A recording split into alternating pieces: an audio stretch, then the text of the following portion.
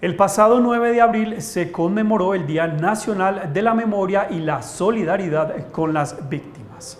En Sonsón, varias actividades se llevaron a cabo para recordar a las víctimas que dejó el conflicto armado en Sonsón. Para quienes han sido víctimas, estas fechas son importantes porque los ponen en el centro y recuerda que lo esencial de los diferentes procesos de paz precisamente son las víctimas. Pues es algo muy muy bueno para que eh, la gente, los que están apenas viviendo ese, ese duelo, ese proceso de, victimización, que no solamente es ese ser que, que matan, que desaparecen, sino esas familias que quedan, esa victimización que le queda a la familia. Entonces es un llamado como para esas personas de antes y las de ahora, las que apenas están, que que, nos juntemos, que salgamos, que después de tanta oscuridad hay, un, hay una luz, hay una verdadera transformación.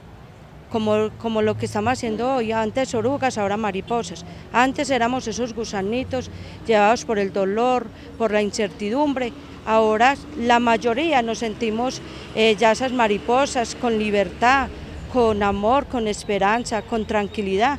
La institucionalidad juega un papel fundamental, ya que son ellos quienes acompañan en los procesos de paz, justicia, reparación y garantía de no repetición. Nosotros quisimos hacer una celebración muy especial en el Día de las Víctimas, recordando a todos los que ya no, eh, están y por supuesto eh, recordando el conflicto que vivió el municipio.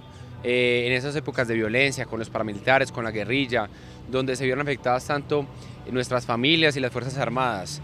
También recordar esa violencia que tuvo Colombia y Antioquia, que fue tan cruda y que afectó tanto el país. Entonces es un día para recordar a las víctimas y queríamos hacer este reconocimiento eh, con ese mensaje de antes orugas, ahora mariposas, para generar ese mensaje de esperanza y de fe y por supuesto de reparación.